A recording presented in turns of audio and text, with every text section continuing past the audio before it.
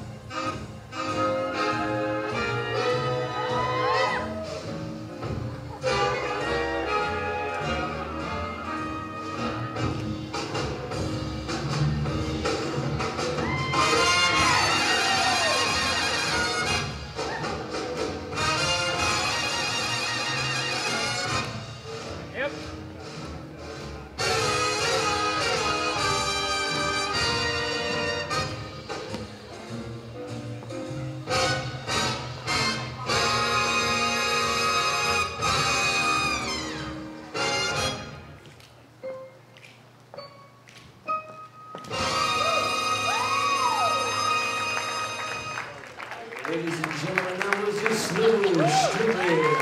Give it up one more time for the contestants right here. Slow Strictly Finals